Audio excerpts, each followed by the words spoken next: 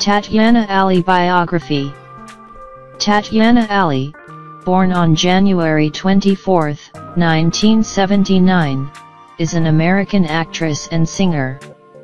She gained fame for her role as Ashley Banks on the sitcom The Fresh Prince of Bel-Air 1990-1996, alongside Will Smith.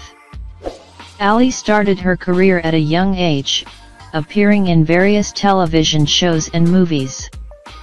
She continued to act in both television and film throughout the 2000s and 2010s, also pursuing a music career with the release of her album Kiss the Sky in 1998. Besides her entertainment career, Ali is known for her advocacy work, particularly in education and youth development.